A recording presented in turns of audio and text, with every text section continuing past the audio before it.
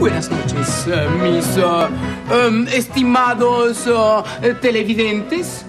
Hoy me embarga un sentimiento de alegría y una em, vivaz em, em, corporalidad especial debido a que he estado recibiendo constantes frutos acerca de nuestra sección Ayudemos al idioma. Me siento contento porque estamos depurando de una manera extraordinaria nuestro lenguaje de aquellas palabras horrendas que lo afean por completo. Sin embargo, hoy me he llenado de ira porque me he topado con una palabra que verdaderamente enturbia el lenguaje castellano.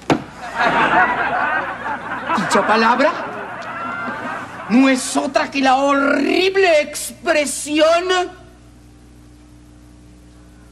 tripa.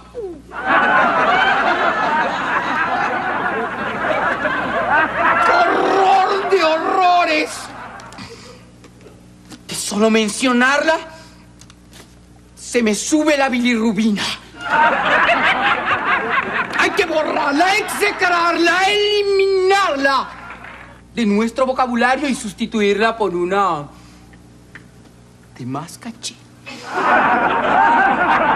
ver, a ver, a ver.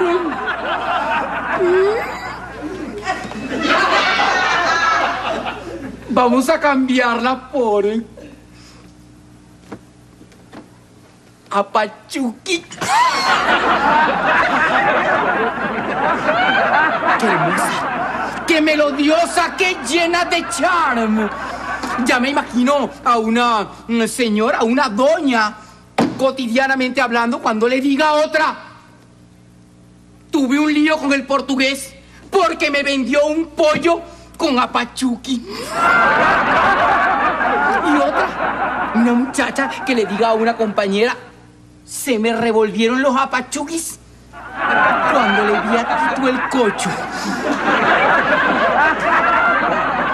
Del cocho hablaremos la próxima semana y recuerden, murieron las tripas y nació el apachuki.